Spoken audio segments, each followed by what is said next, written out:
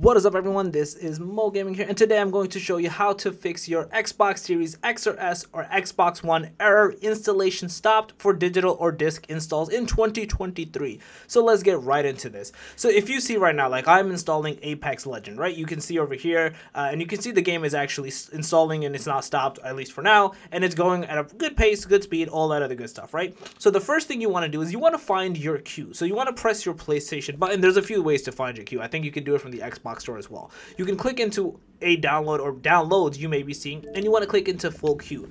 In here, you want to actually clear all your possible queues. So even this one, like let's just say this is obviously the problem child and it stopped, you want to cancel it, right? You want to clear the queue and you want to cancel it and essentially go from there. Once you're kind of done with that, you want to go to the Microsoft Store and find the game. Like search for it and find the game. Like don't go to your game listing that you may already have. You want to find the game explicitly and then go to that game's page and download it from there. So like this one, Apex Legend that I was trying to install, you want to go from there and directly download from there and then click into the view queue. Once you're in here, you want to essentially make sure you don't download more than one game at a time. And you want to stay here essentially. Don't let it rest or anything like that either. And let the game fully download. This might suck. This might take some time like for me 33 minutes.